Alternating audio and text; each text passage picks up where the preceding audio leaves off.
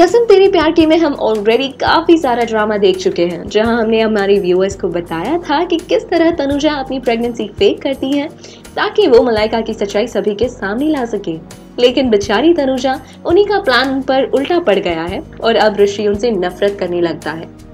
करवा चौथ के ट्रैक में भी कुछ ऐसा ही होता है, जहाँ तनुजा ऋषि के लिए व्रत रखती है और अब उसी के हाथों अपना व्रत तुड़वाने के लिए वो बेहोश होने का नाटक करती है। और जब ऋषि को ये पता चल जाता है, वो तनुजा को जली कटी बातें सुनाता है।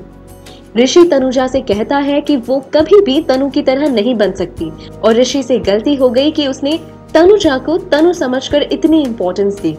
ऋषि अपने गुस्से में यही नहीं रुकते। वो तनुजा से कहते हैं कि उसने ऋषि से सिर्फ़ पैसों के लिए शादी की है।